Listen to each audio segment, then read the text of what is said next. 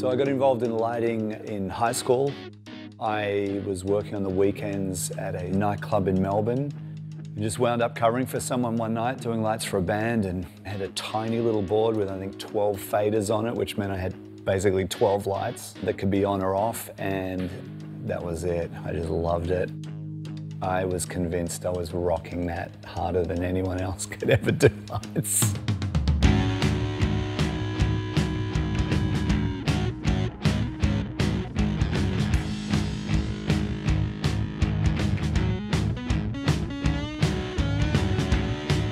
I toured in America with an Australian band and their opening act was Sheryl Crow.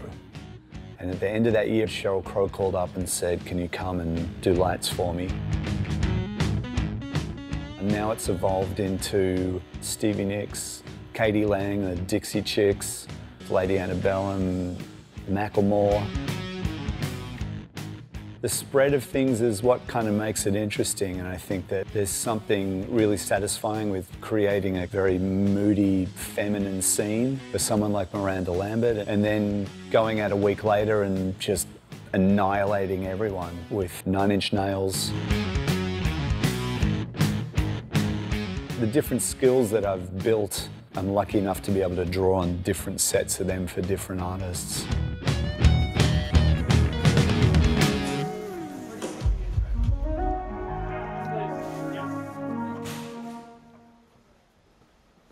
Some people have the opinion that if you're noticing the lighting, you're doing something wrong because that means it's maybe trumping the band. And I think a long time ago that was probably accurate, but now I feel as though it's all part of the show and bands expect that it's going to be doing things and it's going to be spectacular and it's going to add that next level uh, to their performance.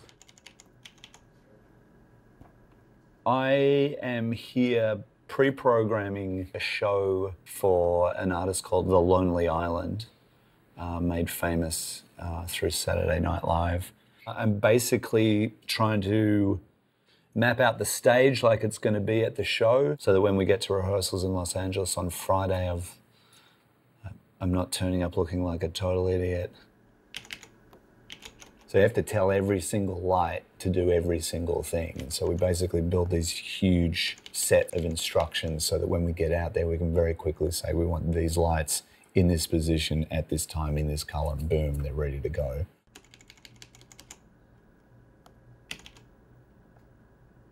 I have what's called a theatrical approach, which is a ridiculous term, but it's just cleanly lighting the people you need to see and, and then creating that mood around it. I also feel as though because I have a musical background, I, I like to pick up on musical things, um, and so that dictates a lot of how I think about cues or the mood.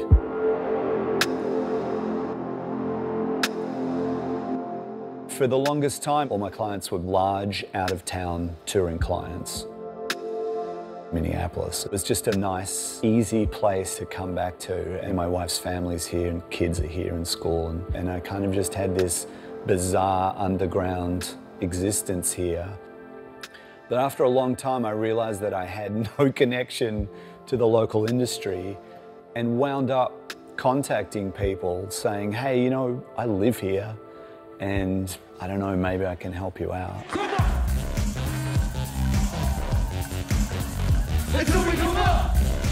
There were basically two larger breaks, and the first was with Doomtree. I contacted those guys and I came to them with this ridiculously lofty plan. And it was really fun. It was local people that are talented and they're crazy with a very passionate audience. It was like all the things that I enjoyed. And then uh, the other connection was meeting the TPT guys and getting to work on Lowertown Line.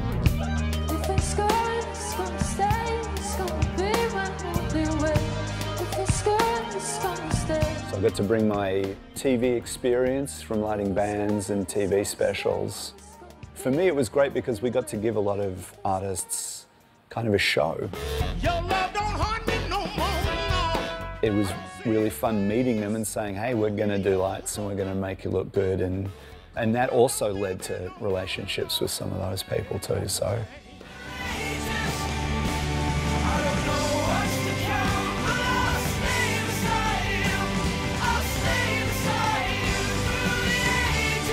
feel now that I've, I've got a much better connection to the, to the local industry.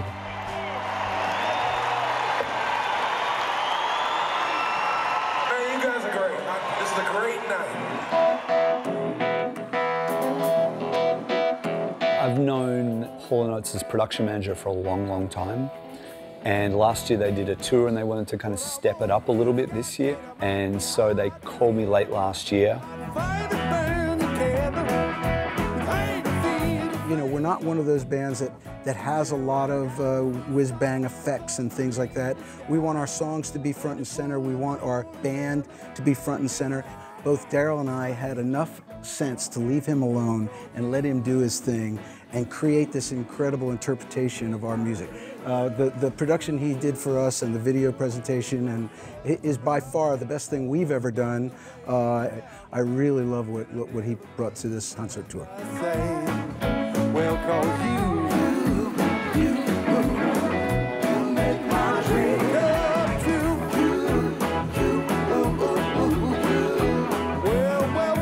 Designing a show, there's a lot of, you know, elastic components to it. And I think that, you know, once we started putting things in place, it, and we wound up with a, you know, reasonable sized show that, uh, that they now have on the road.